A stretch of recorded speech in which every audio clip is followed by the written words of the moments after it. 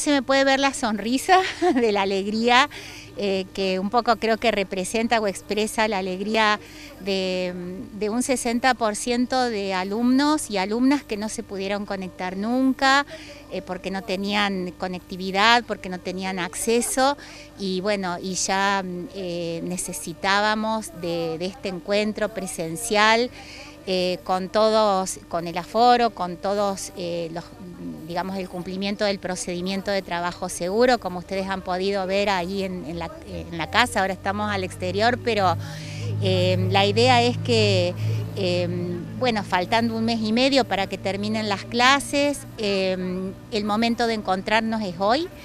están dadas las condiciones sanitarias, están dadas todas las condiciones de cuidado.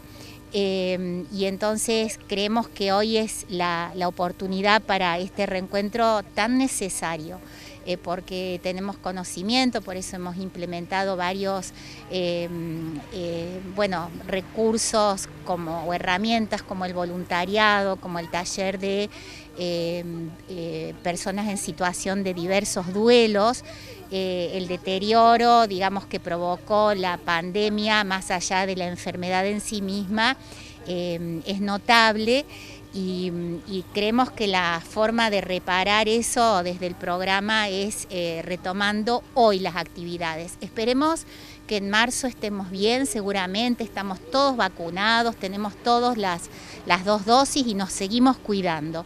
Pero hoy se puede, vamos a ver cómo viene marzo.